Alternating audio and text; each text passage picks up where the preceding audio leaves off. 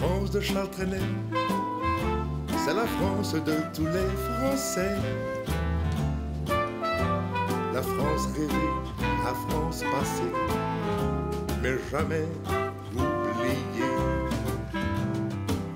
C'est la France de notre enfance qu'on a gardée dans le cœur. Douce France de nos vacances qui a le parfum du bonheur. C'est le pays où la mer,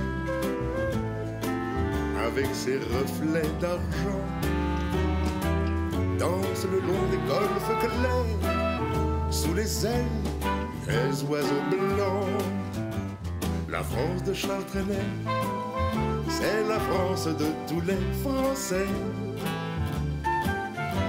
La France rêvée, la France passée, mais jamais.